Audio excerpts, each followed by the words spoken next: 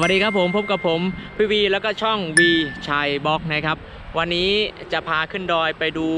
จุดกางเต็นท์บนดอยผาหมีนะครับ เราก็จะค่อยๆ ซิ่งมอไซค์ขึ้นดอยกันวันนี้ เพื่อไปดูจุดชมวิวตรงนั้น แล้วก็เป็นลานกางเต็นท์สำหรับสายลุยสายชิลที่แบบว่าชอบ adventure หรือว่าชอบผจญภัยนอนในเต็นท์ก่อไฟแล้วก็แบบลุยๆหน่อยนะฮะจะชอบแบบนี้เพราะว่าอยู่ใกล้ชิดกับธรรมชาตินะครับ เดี๋ยวจะพาไปดูข้างบนดอยกันนะฮะโอเค พร้อมแล้วก็ ขี่มอไซค์ตามผมมาเลยครับ ถนนที่เราขี่มอไซค์อยู่นี้นะครับผมคือถนนแผ่นดินหมายเลขหนึ่งนะฮะพหลโยธินนะจากกรุงเทพ แล้วก็ไปสิ้นสุดที่ชายแดนไทยเมียนมาจุดเหนือสุดอำเภอแม่สายนะครับผมนะแล้วก็เลี้ยวเข้ามานะฮะเลี้ยวซ้ายเข้ามานะครับผมพอเลี้ยวซ้ายเข้ามาก็จะเนี่ยทางขึ้นดอยผาหมีตรงนี้จะใกล้หน่อยนะฮะตรงนี้จะใกล้อีกเส้นหนึ่งถ้าเราเลยไปก็จะเข้าทางห้วยน้ำลิน แล้วก็ เลี้ยวซ้ายเหมือนกันนะฮะตรงนั้นก็จะขึ้นไปวิวสวยก็ไปได้สองทางไม่ต้องกลัวนะฮะวิวสวยทั้งหมดเลย แต่เส้นนี้จะใกล้หน่อย เราเลือกเส้นนี้เพราะว่าใกล้นั่นเองนะครับ พอขี่มาได้หน่อยหนึ่งเราก็จะเป็นผาหมีซอยหนึ่งซอยสองไปเรื่อยๆนะครับ ตรงนี้ก็จะมีอ่าเป็นหมู่บ้านเริ่มเข้าเป็นชุมชนแล้วนะฮะแล้วก็มีไร่ลิ้นจี่ลิ้นจี่ของชาวบ้านอยู่เรียงรายนะครับ แล้วก็เห็นภูเขา สวยนะ มันเป็นภูเขาที่เป็นขึ้นไปเห็นไหมครับ ก็จะได้บรรยากาศที่อีกแบบหนึ่งนะฮะเย็นสบายพอเข้ามาตรงนี้แล้วจะเริ่มเย็นละไม่ร้อนนะฮะเพราะว่ามันอยู่ใกล้เชิงเขา บรรยากาศดีนะครับผม พอเข้ามาตรงนี้เอ๊หอมดอกไม้อะไรเอ่ยช่วงที่เราขี่มอเตอร์ไซค์อยู่นี่ก็กลิ่นดอกไม้เข้ามาไม่รู้ดอกไม้ป่าหรือเปล่านะฮะแต่ว่าไม่ไม่น่าจะใช่ดอกลิ้นจี่หรือว่าดอกลำไยเพราะว่ามันออกผลผลิตไปแล้ว ขี่กันมาเรื่อยๆนะฮะ เราจะขึ้นไปบนดอยผาหมีกันผาหมีก็จะเป็นพี่น้องชนเผ่าอาขานะครับ พอขึ้นมาได้สักพักก็จะมีป้ายชาวผาหมียินดีต้อนรับนะครับ แล้วก็ ทางอาจจะคดโค้งหน่อยตรงนี้ แต่ยังไม่ถึงกับชันมากนะ มันจะโค้งไปตามตามภูเขาอะนะฮะ ต้นไม้เขียวชอุ่มมาก แล้วก็สองข้างทางก็จะเป็นสวนผลไม้ สวนลองกอง ถึงว่าลองกองถูกมาจากนี่นะโลละสามสิบเห็นไหมลองกองดกมากเลยที่เอาไปขายข้างล่างนะลองกองดอยผาหมี มีสวนส้ม สวนลองกองนะสวนลิ้นจี่อุ้ยดองลองกอง ขนุนก็มีนะฮะกล้วย อันนี้ก็อันนี้ก็จะเป็นสวนส้มนะครับ เนี่ยแล้วก็ขี่ไปเรื่อยๆ ตรงนี้ก็จะเป็นทางโค้งแล้วก็ชันนิดนึงแต่ก็ไม่มากยังพอไปได้ ไปได้เรื่อยๆ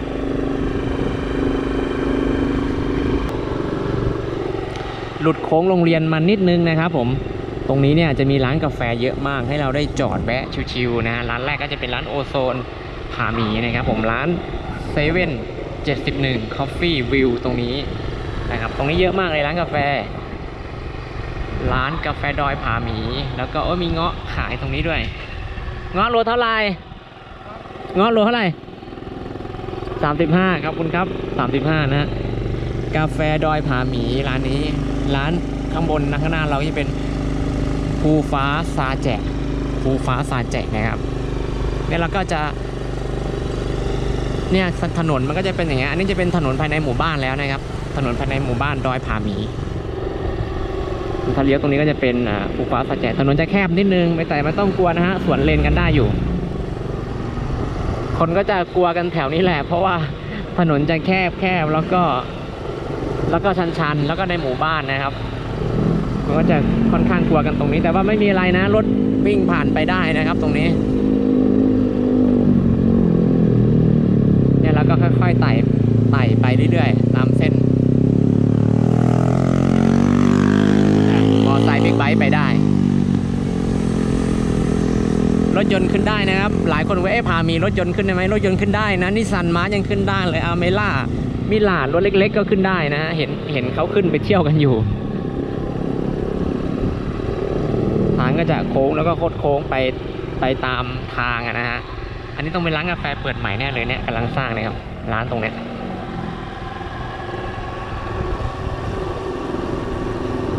ก็ล้อไปตรงนี้จะเป็นถนนในหมู่บ้านนะครับผมถนนในหมู่บ้านดอยผาหมี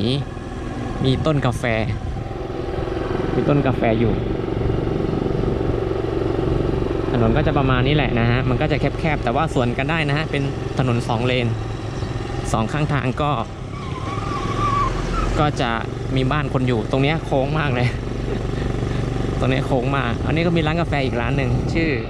ฟูดีคอฟฟี่ Foodie Coffee Foodie Coffee ต้นนี้ออกดอกแล้วมีบริการสอบถามรถรับส่งนักท่องเที่ยวด้วยนะฮะตรงนี้สำหรับใครที่ไม่อยากเอารถขึ้นไปนะฮะเพราะว่าคนที่ไม่ชินกับดอยก็มันก็น่ากลัวนะตรงนี้แคบสุดละตรงนี้ถ้าถ้าเรามองลงไปฝั่งนี้เห็นไหมก็จะเห็นวิวทิวทัศน์นะครับ เคเลยอันนี้ก็ถนนในทางถนนขึ้นดอยผาหมีนะ ฝั่งจันทร์กับผัก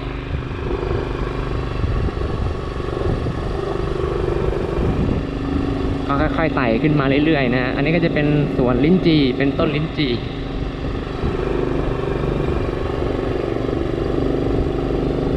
โค้งหน่อยแล้วก็โค้งตามถนนไปนะครับผม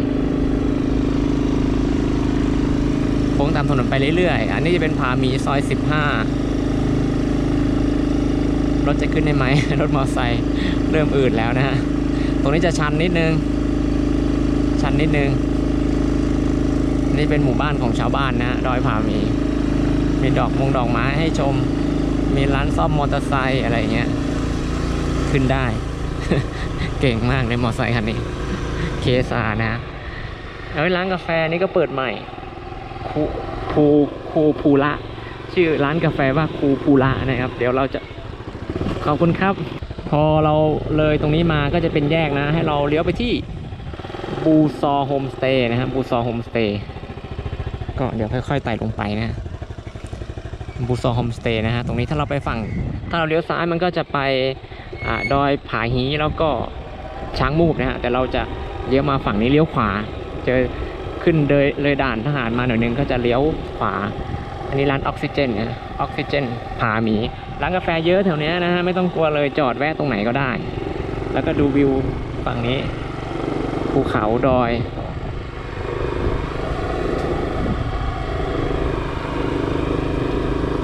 คิดว่าฝั่งนี้ก็จะเป็นป่าแล้วถนนอาจจะแคบๆหน่อย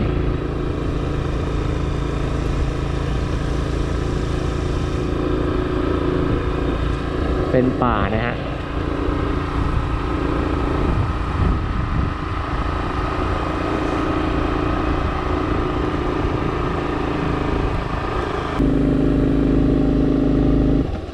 เราขี่มอเตอร์ไซค์กันมาเรื่อยๆนะฮะจะเป็นที่พักจุดชมวิว เป็นอาอาหารเครื่องดื่ม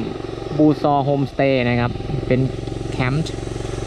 จุดชมวิวลานกางเต็นท์มันจะมีป้ายบอกตรงนี้นะครับผมจุดชมวิวลานกางเต็นท์ลานวัฒนธรรมอาหารเครื่องดื่มอีก 500 เมตร viewpoint camp เพาะ camp ground cultural food and drink นะครับผมแล้วก็เลี้ยวมาเลี้ยวซ้ายนะครับผม แล้วก็ขี่ ขึ้นไปเรื่อยๆ สังเกตบูซอโฮมสเตย์อะสังเกตตรงนี้แหละนะครับ จะไม่หลงทางแน่นอน ทางก็จะเป็นซีเมนต์จากเมื่อกี้นี้ลาดยางมา พอขึ้นมาตรงนี้ก็จะเป็นซีเมนต์นะครับ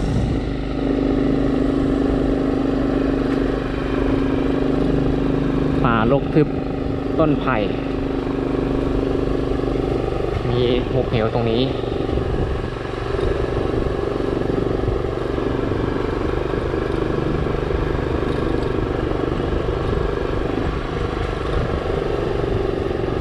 ก็ตรงไป นี่แหละตรงนี้แหละที่จะเป็นจุดที่น่าจะมันจะเป็นแยกบูซอโฮมสเตย์ให้เราตรงนี้แยกไปตรงนี้นะฮะ อันนี้ก็จะเป็นทางทางกลับ อันนี้ทางไป แยกเป็นสองทาง ไปกับกลับ อันนี้เป็นทางไปนะครับ มันจะเป็นอย่างเงี้ย เป็นซีเมนต์ให้เฉพาะล้อรถ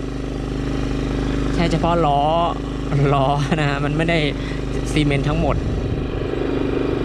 มอไซค์ขึ้นมาได้นะรถยนต์ก็ขึ้นมาน่าจะได้ไหมก็ดูดูสภาพก่อนมันก็จะค่อยๆไต่ขึ้นไป แต่เคยเห็นเขาขับวีอองวีออสขึ้นมาได้ปกตินะฮะตรงบูซอเนี่ยสองข้างทางก็เต็มไปด้วยลิ้นจี่ลิ้นจี่นะฮะมีข้าวโพดแซมบ้างนี่แหละถนนก็ประมาณนี้นะฮะก็ก็ลุยดี แต่หน้าฝนนี่ไม่ค่อยได้ขึ้นมา เพราะฝนตกมันจะลื่นหน่อย แต่นี่มันก็ต้นหนาวแล้ว มันก็ไม่มีฝนนะครับ แล้วก็มาได้หรือว่าหน้าหนาวนี่มาได้ชิวๆเลย ต้นข้าวโพดต้นหญ้าสวนลิ้นจี่โอเคเราเห็นชิงช้าข้างบนละจะถึงแล้วนะฮะนี่ก็ถนนมา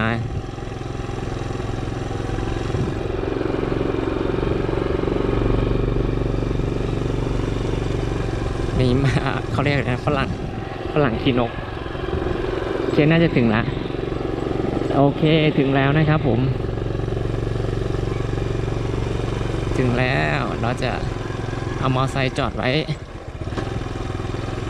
จุดชมวิวบูซอทางออก Amazing บูซอนะเราจะเอามอเอาเอารถจอดไว้ตรงนี้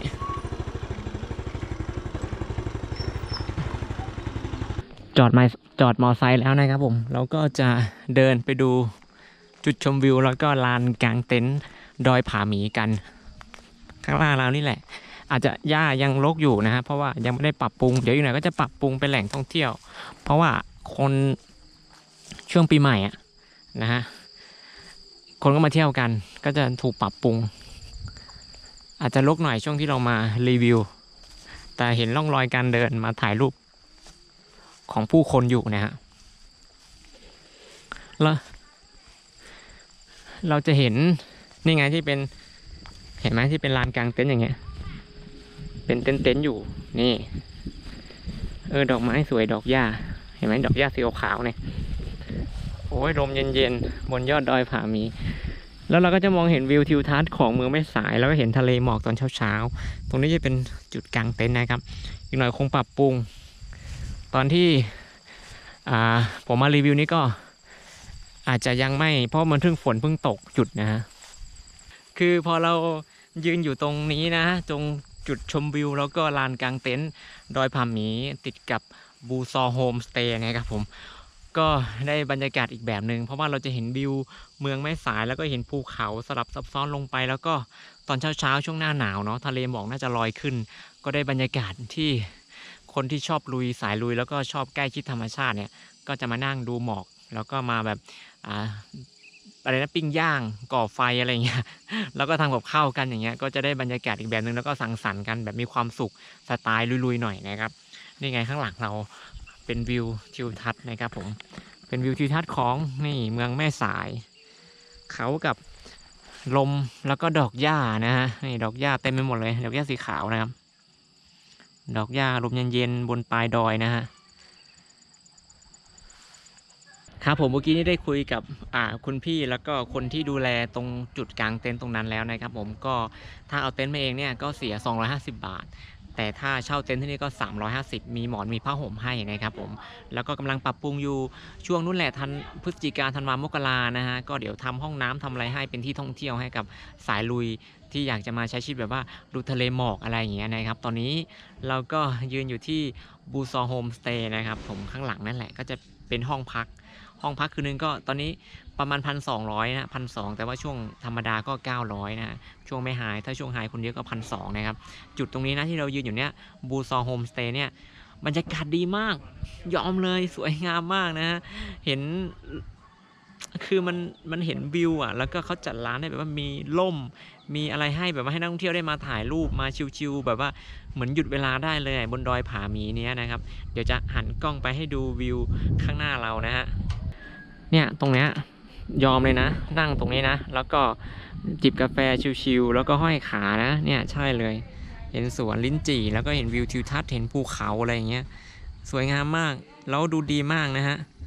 โอ้ลมหนาวมานี่เห็นทะเลหมอกลอยขึ้นนะชิวๆอาจจะย้อนแสงหน่อยนึง เพราะว่าข้างหน้าเรานี่คือนี่ไงดวงอาทิตย์เต็มๆนะฮะตอนนี้เราก็สั่งกาแฟ บูเซอร์กาแฟนะฮะเขาจะโรยด้วยเม็ดคาเดเมีย แล้วก็มีเม็ดคาเดเมียผสมอยู่ตัวกาแฟของร้านนี้นะครับผมก็เวลาขึ้นมาดอยผาหมีที่ไรก็มันไม่พลาดที่จะมาร้านนี้ เพราะว่าวิวดี แล้วคนไม่เยอะช่วงที่เรามาเนี่ยไม่ค่อยมีคนทั้งร้านแล้วก็นั่งชิวๆคนเดียวมีความสุขมากนะครับเหมือนร้านส่วนตัวเลย แล้วก็ที่สำคัญคือเจ้าของใจดีมาก มีเม็ดคาเดเมียให้ชิมฟรีอีกด้วยนะ นี่กาแฟเขานี่ คือนั่งจิบกาแฟ ตรงที่เรานั่งนี้นะ แล้วก็มองออกไปข้างนอกอะ่ะ เราจะเห็นวิวสุดลูกหูลูกตา เห็นเมืองแม่สาย เห็นดอย เห็นอะไรเงี้ย บรรยากาศดีมาก แล้วก็หายใจโล่งปลอดโปร่งนะครับ ครับตอนนี้เราก็เดินทางกลับบ้านแล้วนะฮะกลับทางเดิมเรานะครับ หลังจากไปดูจุดชมวิวดอยผาหมี แล้วก็บูซอโฮมสเตย์แล้วก็ลานกางเต็นท์ที่อยู่ใกล้ๆกับบูซอโฮมสเตย์นะครับผมซึ่งตอนนี้ก็ยังยังไม่ได้ปรับปรุงนะฮะเพราะว่าเรามาช่วงกันยาตุลาเพราะว่าน่าจะปรับปรุงช่วงพฤศจิกาธันวาแล้วก็ปีใหม่นั่นแหละนะฮะอาจจะได้ยินเสียงดังแอ๊กๆหน่อย เพราะว่ารถมันอันนี้หน่อยนะฮะรถมอไซค์เรากำลังกลับทางเดิมที่เรามา ทางเดิมที่เราขึ้นมาจากหมู่บ้านพามีนะครับอ๋อต้องค่อยๆไต่ลง เพราะว่าทางมันค่อนข้างแคบ แต่ช่วงนี้ไม่ค่อยมีรถสวนนะครับ บางคนมาแล้วก็ถอดใจกลับก็มี เพราะว่าทางมันเป็นแบบนี้ จริง ๆ ไปได้นะ อาศัยใจล้วนๆนะฮะไม่เกี่ยวกับทางแล้ว เพราะทางมันดีอยู่นะฮะอาศัยใจล้วนๆก็ขึ้นมาได้เลยไม่ว่าจะเป็นรถยนต์รถมอเตอร์ไซค์หรืออ่า รถอะไรก็ขึ้นมาได้แหละนะฮะเพราะว่าเห็นไหมทางมันดีอยู่นะครับบางคนเห็นว่าแคบๆแล้วก็กลัวกันก็ก็ไม่ต้องกลัวนะฮะไปได้ถึงนู่นนะผาฮีถึงผาฮีถึงอ่าอะไรนะ ช้างมูบเลยดอยช้างมูบนะออกดอยตุงนู่นเลยนะฮะเส้นนี้ อยากจอดพักก็จอดพักชิวๆได้นะครับทุกคนมาจอดมอเตอร์ไซค์เต็มเลยอะมาเที่ยวกัน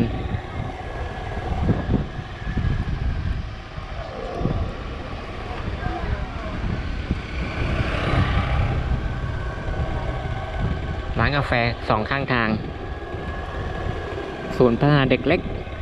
บ้านพามี ตรงนี้มันจะเห็นไหมมันจะโค้งๆหน่อยมันจะหักโค้งตรงนี้เห็นปะเนี่ยตรงนี้เสร็จแล้วแต่ถ้าเราค่อยๆ ไปมันก็ไม่มีอะไรเห็นปะแล้วพอโค้งปุ๊บมันก็จะแคบเลย อาจจะชะลอกันหน่อยนะฮะ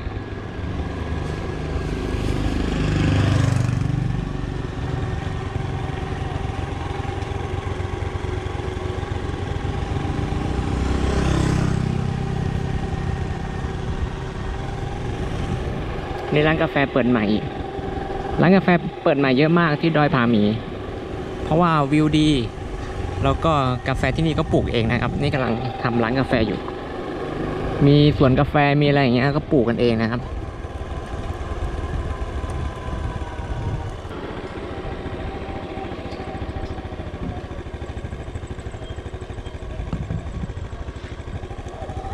โอวิวตรงนี้สวย เห็นไหมวิวตรงเนี้ยสวยนะ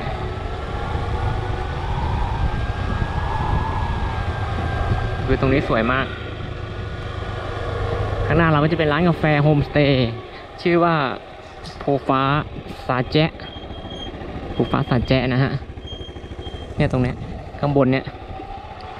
โพฟ้าซาแจ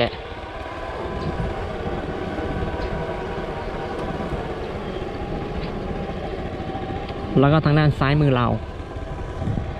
เอ๊ะนี่เหมือนสะพานไม้ไผ่ออกไปภูฟ้าซาแจะ อันนี้จะเป็นร้านกาแฟเหมือนกัน กาแฟดอยผาหมีนะครับ ร้านขายของฝาก แล้วก็มีรถจอด ตรงนี้จะเป็นที่จอดรถของหมู่บ้านนะครับผมถ้าไม่อยากรถขึ้นไปก็จอดแถวเนี้ยมีลานจอดรถ แล้วก็เหมาขึ้นไปได้ แล้วก็ ร้านโอโซนผาหมีแล้วก็โรงเรียนเด็กนักเรียน ร้านโอโซนผาหมีนะครับ